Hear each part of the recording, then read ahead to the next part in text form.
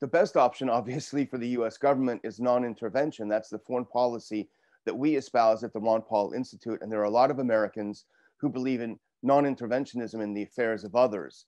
Uh, that we haven't won the day yet, uh, but if we had never intervened in Ukraine, Ukraine would be a peaceful, neutral state that would be trading with both the EU and Russia. It would be far more prosperous than it is today. It wouldn't be in the in the process of getting blown to pieces as it is today. All of this is not to justify what happened, but it's to understand. That's what analysts do.